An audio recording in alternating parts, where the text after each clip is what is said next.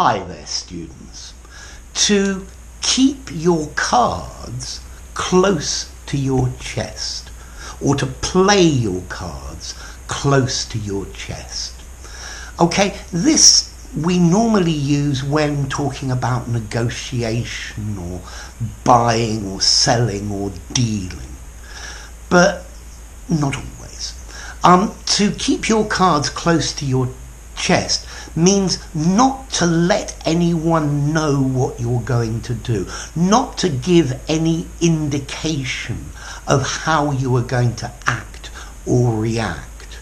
So somebody that plays their cards or keeps their cards close to your their chest, you have no idea what they're going to do next in this process.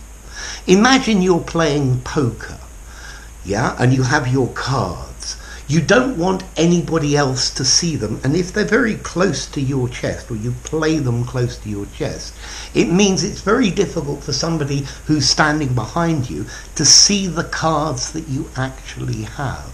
And that's the idea. It's saying keep your intentions hidden, keep them very close to you so that nobody else can find out or guess what you're going to do.